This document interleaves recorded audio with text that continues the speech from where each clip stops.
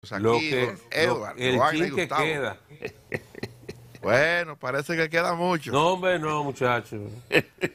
Iniciamos el primer día del último mes. No, primer día del último mes, diciembre, año 2022.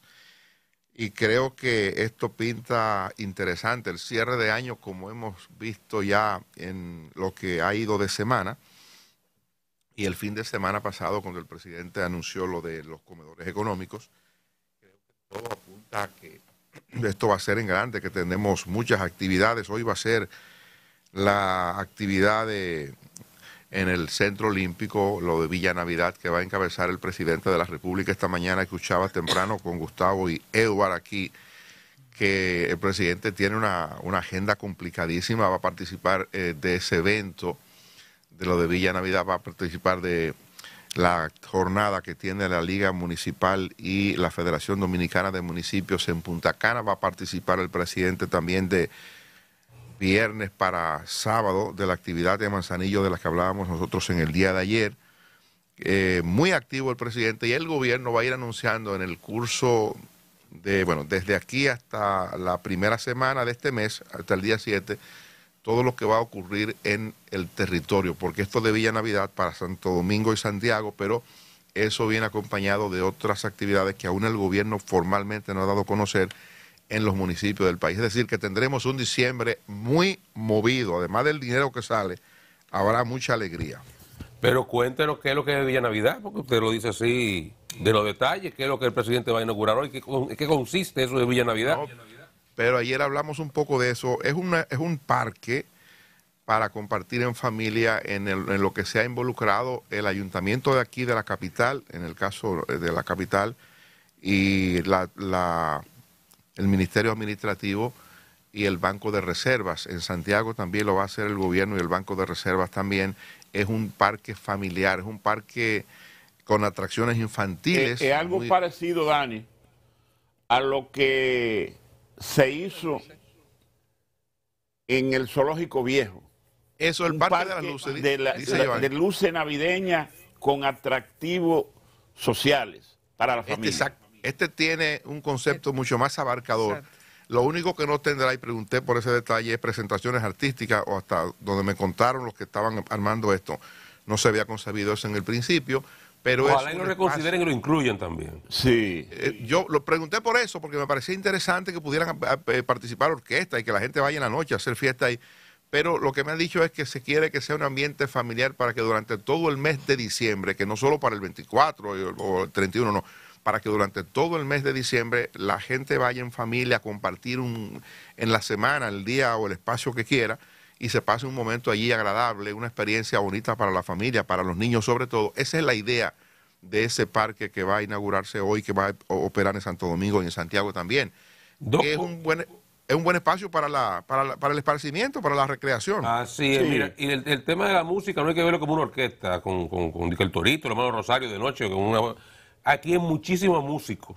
Sí. Gente que hace música, que tiene talento, que puede participar y, y- y hacer música familiar. Eh, Y que anima bien, sí. Ahí hay, una, ahí hay una escuelita de un joven que se llama Camilo en el Parque Colón, que tiene muchos muchachos que tocan ahí, Sí. pueden llevar gente de ese perfil. A eso me refiero con música. Y cuando te pedía que lo que lo detallara, era precisamente por esa comparación que ustedes hicieron antes de lo que yo, que yo le iba a hacer y que me alegró ver a Carolina Mejía ahí. Porque aquí se hacía, durante la gestión de Roberto Salcedo, durante más de 10 años, esa brillante Navidad.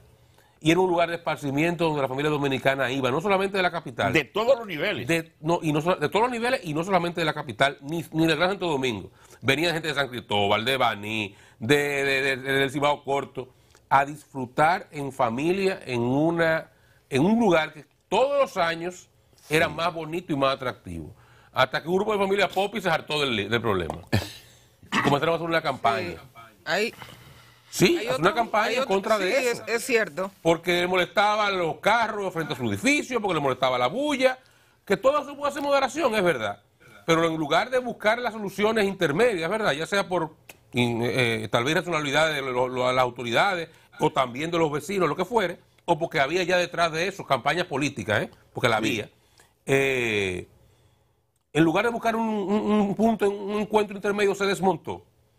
Y duramos varios años sin ese, esa oferta para la familia dominicana. Y quiero saludar que la retomemos en otro lugar, bajo otros modelos. Sí. Qué bueno que el Banco de Reserva continúa mostrando ese rostro cercano a la gente y apoyando ese tipo de eventos. Y eh, eh, con otra modalidad, pero estamos retomando algo que funcionó muy bien y ojalá y sea para permanencia, que no sea otra vez para... que, que- que no se desmonte. Si, hay cosas que corregirle, que se corrijan y que se vayan mejorando, pero que ese tipo de espacios que en todas las grandes ciudades del mundo existen, existen, ¿eh? Existen en Miami, en Nueva York, en Los Ángeles, en Chicago, en Madrid, en Berlín, en Londres, espacios donde se, en en Occidente, ¿verdad? Donde celebramos la Navidad. Espacios donde, en, en Buenos Aires, México, donde la familia, la familia de esos países tienen esos lugares, esos parques de luces, ale- alegorías navideñas que se instalan por temporada navideña durante un mes, eh, cinco semanas, seis semanas, y la gente va y acude en Y masas. lo disfruta. Y lo disfruta de mercaditos, de música, eh, villancicos, todo ese tipo de cosas que son propias de la Navidad, se hace en todas las grandes ciudades del mundo. Santo Domingo es una de ellas, lo teníamos, lo desmontamos, qué bueno que lo volvamos a montar y que no sea algo intermitente. Sí, hay otro grupo, Oscar, que mencionaste, el de Camilo, que está regularmente en la zona colonial. Recuerdo que cuando se inauguró el teleférico, un grupo de periodistas fuimos a verla, a hacer un recorrido.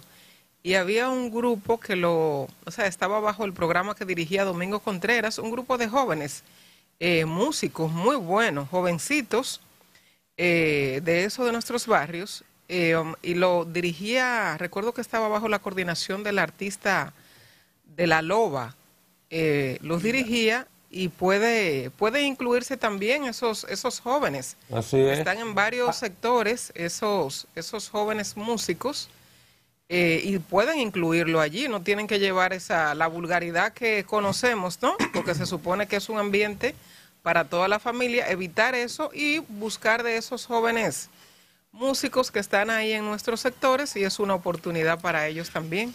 Yo Mira, estoy de acuerdo yo- contigo, una oportunidad para visibilizar a quienes en esos sectores que hay, ¿eh? hacen música, pero no salen. Lo que sale es la basura que se produce ahí. No sale la, la gente que hace música. Yo vi en estos días unos muchachitos que iban en un autobús o en un metro tocando música. En un vagón del metro. Un vagón sí. del metro. Y hay muchísimas escuelas de musicales en los barrios, en la, en la capital, en Gran Santo Domingo, que pueden, y, y- y lo sugerimos de ver seriamente, la alcaldía, la reserva, que, que creen un espacio para que esas escuelas, esos músicos vayan ahí y canten música navideña y animen a la gente, y la gente los ve, los conozca y vea que de nuestros barrios no solamente sale basura, ni de bolseros haciendo muecas, Sí, que sí. también hay talentos que pueden exponerse en espacios como estos. La música Hay que decirle a la decente. Yo me alegro que tú hayas mencionado el Parque Colón, porque eh, hace pocos días, pasando por allí, me detuve a ver un grupo de Entonces, jovencitos. Y eso, eso es un esfuerzo, ese jovencito hace un esfuerzo fantástico, de la nada, ¿eh? con, Sí, con- con- sí. con lo poquito que consigue él de sus propios recursos. Se dedica a darle clases de música a esos muchachitos, hace conciertos, la gente se para, los turistas lo disfrutan muchísimo. Y es un ejercicio hermoso. Duré una hora bien. Sí, yo lo he visto también, eso, eso es lindísimo. Hay que decirle a la gente, Oscar, dónde que va a ser la actividad, porque hemos hablado, pero hay que decirle que en la capital va a ser ahí en los jardines, en los alrededores del Palacio de los Deportes y en Santiago en el área del monumento. No va a ser Cero de la dentro del, Reserva. pala- del centro, del centro de los- del No, no, en las Sí, afueras, sí, en las dentro. afueras del palacio. en las afueras del Palacio de los- de los Deportes, pero dentro del Centro Olímpico, Juan Pablo Duarte. Exacto. Claro, Exacto. claro. Mire, ustedes han tocado, Johanna y Oscar, y Freddy han tocado así de sus layos un tema fundamental